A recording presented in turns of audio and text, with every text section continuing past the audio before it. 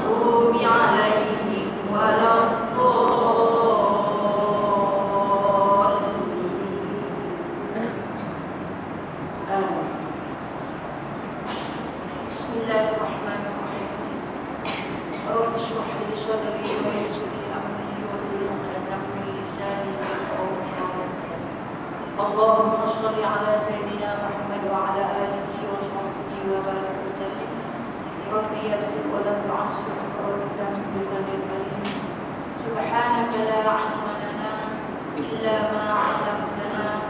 إنك أنت العليم الحكيم. إنك أنت السميع العليم.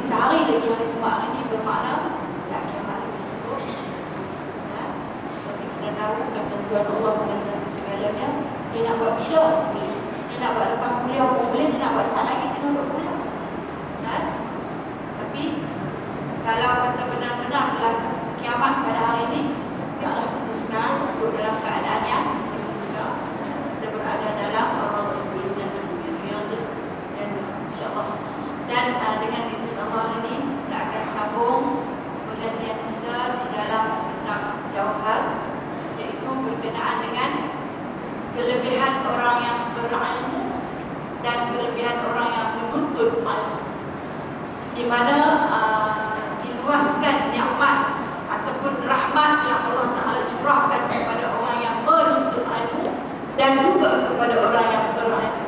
Apabila kita tuntut ilmu, maka tidak ada ilmu. Tak akan datang dengan sendirinya seperti ilmu library. Dia tak akan hadir dengan sendirinya kecuali kena syarikat. Eh?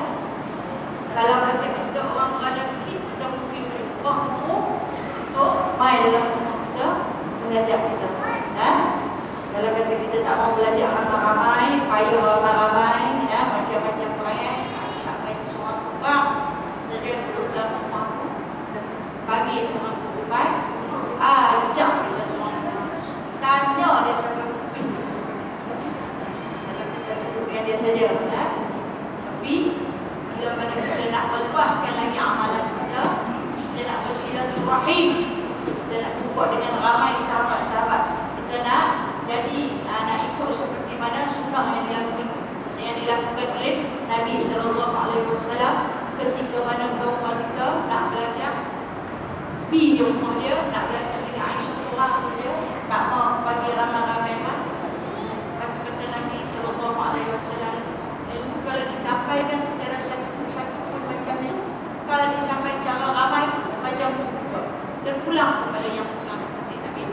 Tetapi lebih afdal apabila dapat secara berjemaah secara duduk beramai-ramai kerana di situ akan lahirnya Allah silaturahim dan satu-satunya pahala yang akan ditanya di dalam kubur oleh malaikat munkar dan nakir adalah sebab tentang silaturahim.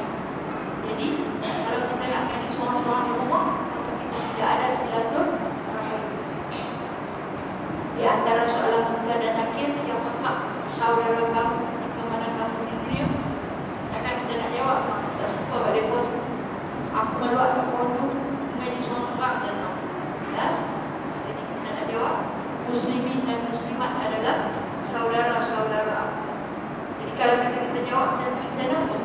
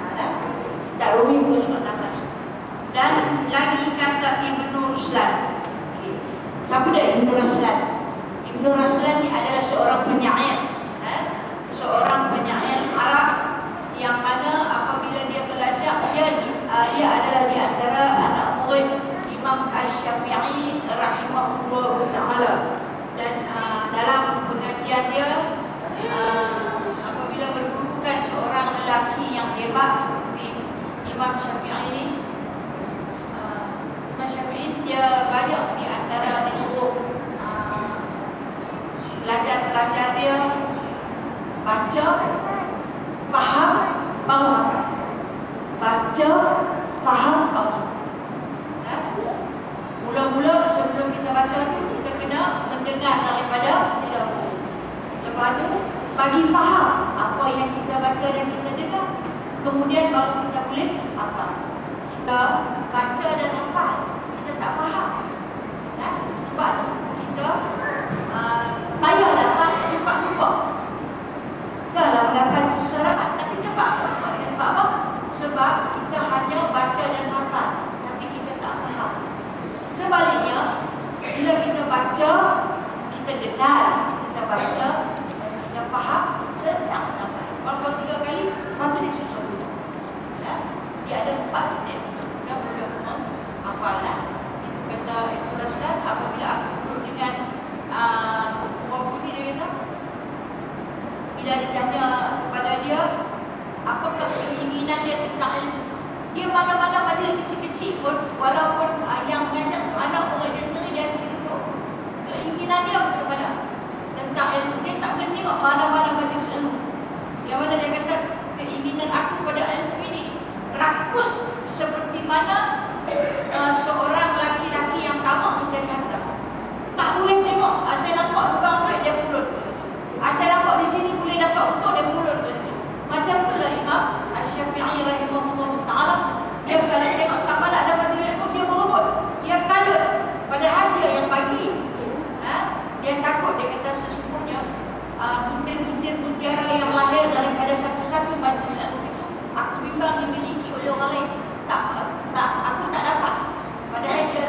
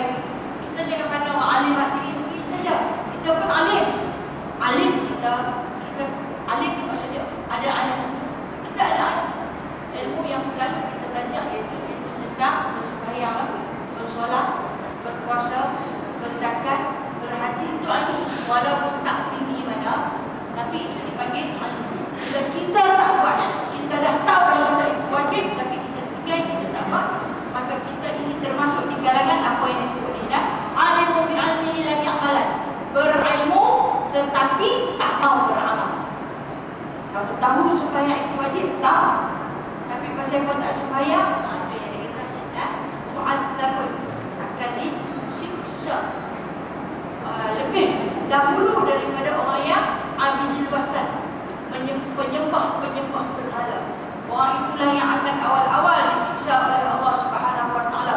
Kenapa? Kalau yang menyembah berhala itu dia memang tak tahu. Dia tegur tidak ada. Sebaliknya, kita ni yang mengaku Islam ni, yang tu lagi. Baik, kalau tentang ilmu sembahyang, kalau kita cakap pun dia tahu.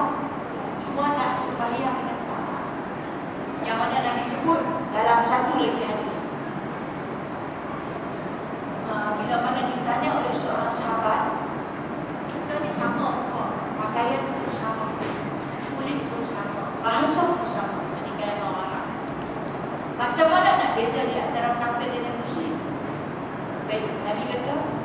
memanglah marah dekat Nabi bagi sebab pergi jumpa itu dia memang jadi pakaian Nabi sendiri. Ya. Nabi kata tak beza senang.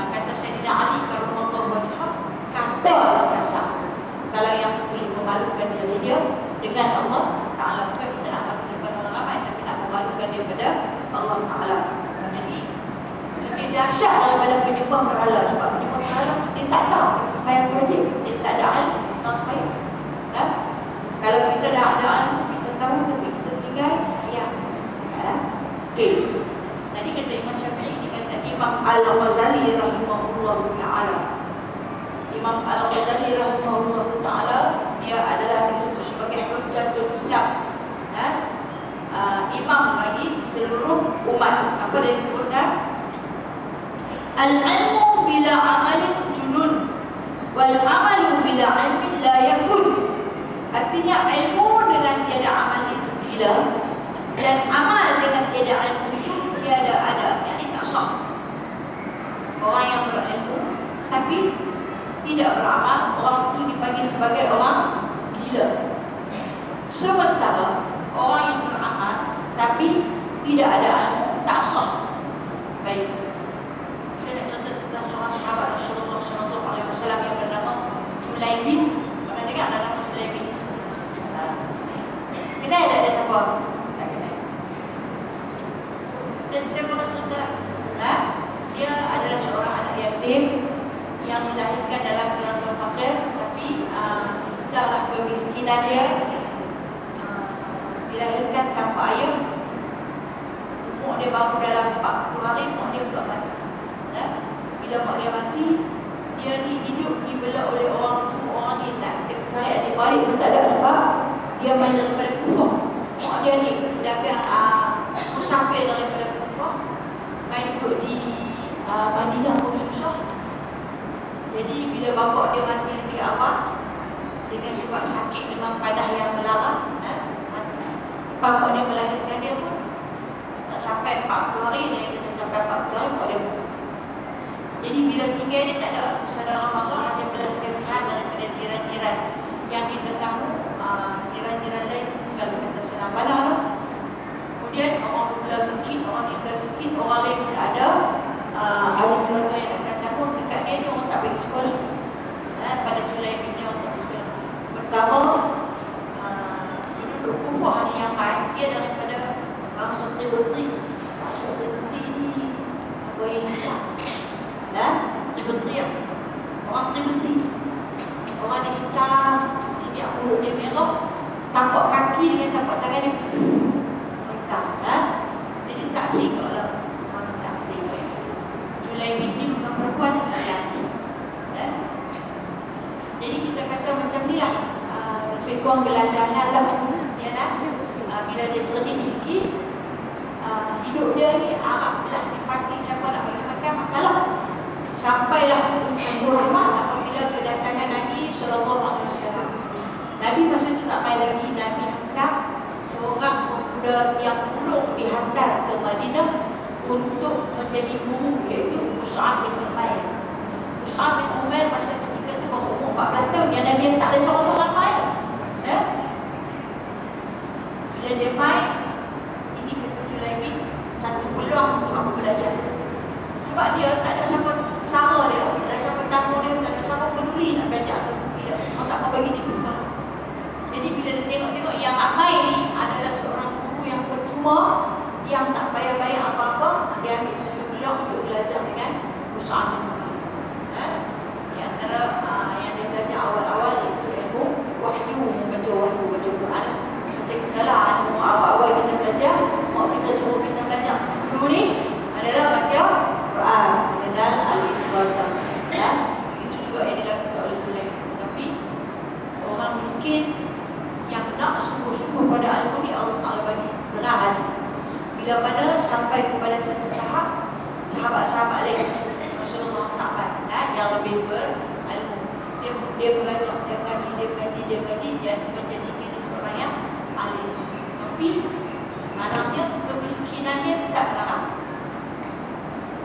pasien lagi tak ada tempat tinggal. Kemudian uh, bila Nabi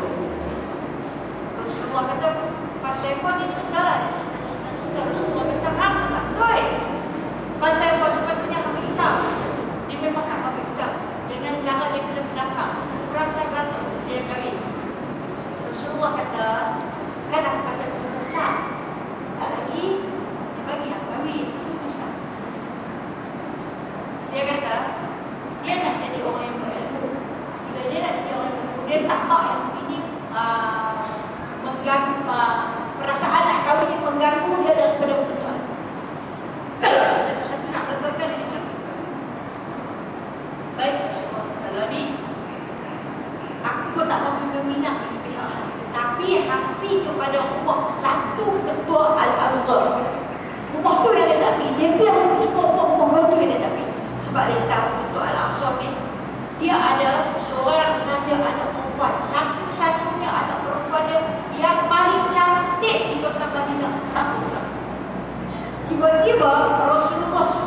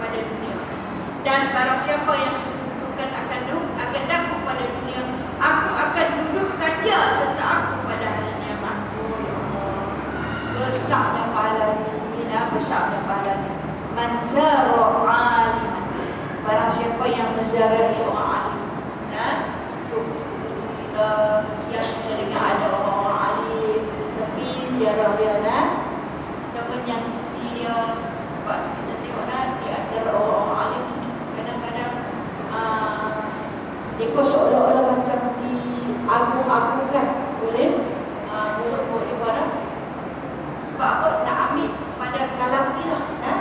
nak ambil pada sabda Nabi Wasallam. Susah lah ni kita nak dalam guru yang alim kan maksud kalau tuan buku ni hang tanya apa pun semua dia boleh hang tanya apa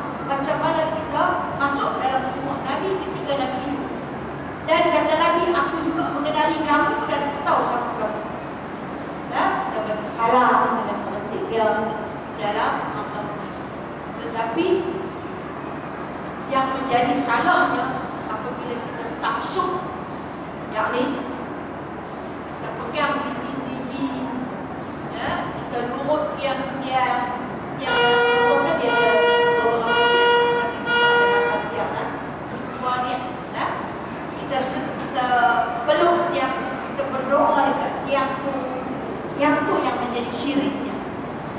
Kata ah, api api berdoa di tiang di tiang dapat di itu yang jadi syirik tapi juga tu di makam pegang di makam tu.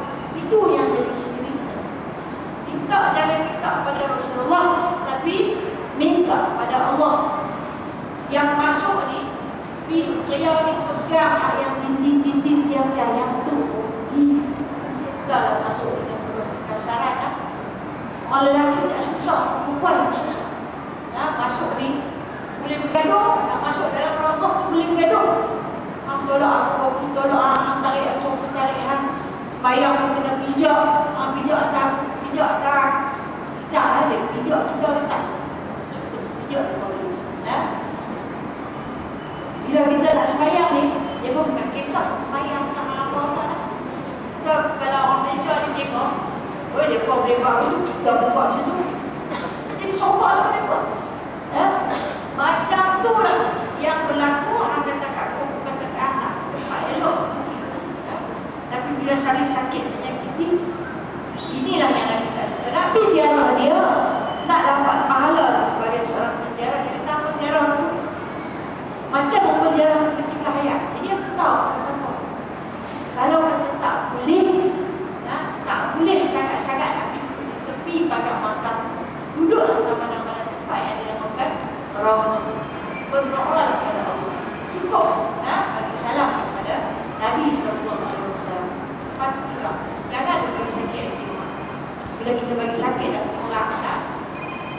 Orang kita ni bawa beg, kan?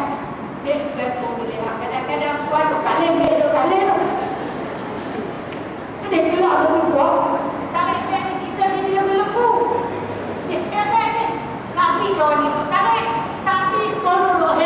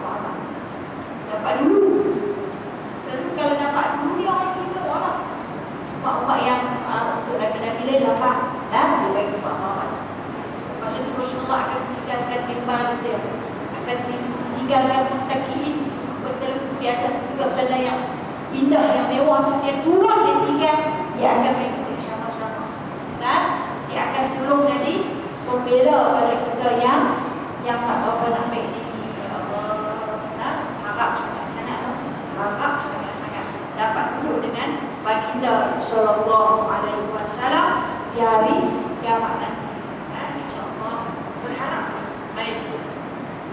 Riwayat daripada Abu Hurairah radhiyallahu anhu berkata ia Aku dengar Rasulullah sallallahu alaihi wasallam bersabda, barang siapa ziarah orang alim, aku terima baginya atas Allah Taala akan surga. Aku terima, aku impun, aku harap, aku kumpul. Ha, ya? Maksud terima ni. Kita kita bumi ada maksud tak? Dapat terima kan? Terima betul. Ya? Kalau dia kata damai pun tak apalah. Oh, nak terima. Apa maksud terima ni? Aku akan kumpul dia. Eh? Pada Allah Ta'ala di dalam syurga nanti. Kami akan sama-sama berkumpul. Baik, dalam kitab ni juga dia akan cerita tentang uh, sifat ahli syurga. Di mana dia kata ahli syurga ini akan menziarahi Nabi Sallallahu Alaihi Wasallam pada setiap hari Jumaat akan menziarahi uh, rumah istana baginda di dalam syurga pada setiap hari Jumaat. Dan bagi orang yang suka duduk dengan orang alim ni, kata Nabi, aku akan himpun dia hari-hari. Nabi ni dia nak abang kita mulia dia. Apabila kamu ni suka berdoa. Jika kamu suka berdoa, kamu akan cari dah yang alim. Kamu duduk bersama-sama. Tak ada lah dia rasa ilmu itu satu bebanan buat dia Satu kesakitan buat dia Tapi ini tak biarlah perkataan Ngajak apa, kalau dia tidak lama Bila kita rasa benci pada majlis ilmu Begitu juga Nabi akan benci Bila kita suka ke Nabi sebenarnya aku terima dia? Aku akan kumpul bersama dia. Aku akan minta pada Allah Ta'ala akan hari-hari duduk dengan dia. Jadi bermakna kalau kata ahli syurga ni dapat duduk seminggu sekali. Tapi kalau kata orang yang rajin duduk di dalam majlis dengan orang yang alim Maka dia akan dapat hari-hari. Kita sekali suruh ya Kita sekali kata Wahsyurna fi syurratil awliya Wahsyurna Himpunkanlah kami di dalam syurga Allah itu Fi syurratil awliya Bersama-sama dengan zumrah Zumrah ni sekumpulan Para-para wali dan para-para ulama Kita nak duduk sama-sama dengan mereka Di mana? Dalam syurga ya. Yang mana Nabi SAW sebut Di antara jiran yang paling terdekat dengan aku Di dalam syurga nanti Ialah orang alim dan orang yang ber Yang menuntut ilmu Orang tu yang akan duduk dekat dengan aku Yang menjadi jiran aku di dalam syurga Jadi tak payah menunggu seminggu sekali untuk mengira aku. Sebaliknya hari-hari dia dekat Ini maksudnya dengan terima. Berkumpulnya mereka dekat dengan aku di dalam syurga. InsyaAllah ta'ala kita cuba cari Dan kita cari sebab kita pada juga ada yang Kita tetap mencari untuk mendapat Syafaat yang disabdakan oleh baginda Sallallahu alaihi wasallam tahu diri yang sebuah kekurangan ini Maka cuba memperbaiki kekurangan demi kekurangan. Walaupun kita kata Kadang kita perbaiki tali Bocor tali dah Kita tampung lulus dari sini Nah itulah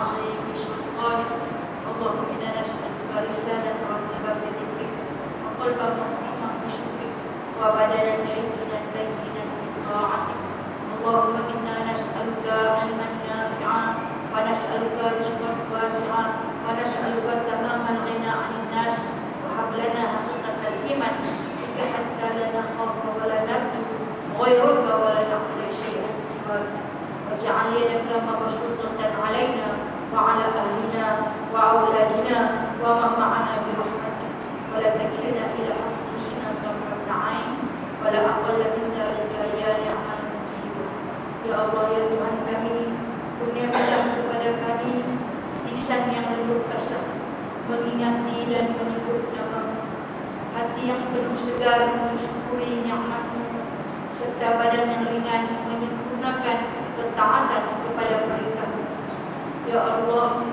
kurniakanlah kepada kami ilmu yang berguna, hati yang khusyuk, keyakinan yang benar-benar mantap. Ya Allah, kurniakanlah kepada kami iman yang sempurna, hati yang khusyuk, ilmu yang berguna, keyakinan yang benar-benar mantap.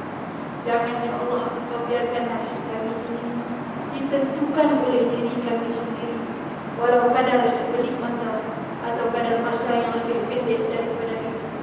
Ya Allah, kurniakanlah kepada kami rahmat dan nikmatmu kepada kami, ahli keluarga kami, anak-anak kami serta zuriat-zuriat kami. Jangan kau jadikan kami, Ya Allah, hambamu yang paling-paling berharga dan tidak dipandang ini. Rabbana atina dunia hasanah wa fil akhirati hasanah wa qina adzabannar wa qina adzabal qubur qina عذاب mahsyar وصلى الله على سيدنا محمد والحمد لله رب العالمين. تقبل الله منكم.